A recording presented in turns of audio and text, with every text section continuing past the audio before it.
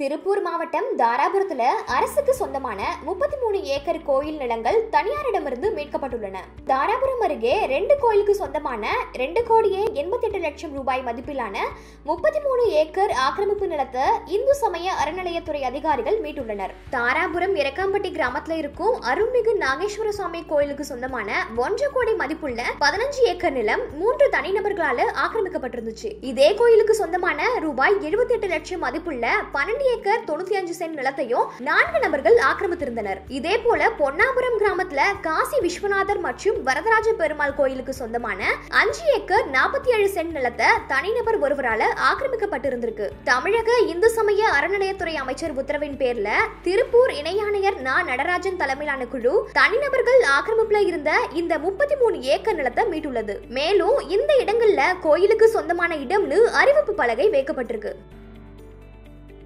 இது மாதிரியான இன்னும் பல செய்திகளை தெரிஞ்சுக்க இணைந்திருங்கள் நியூஸ் டியனுடன்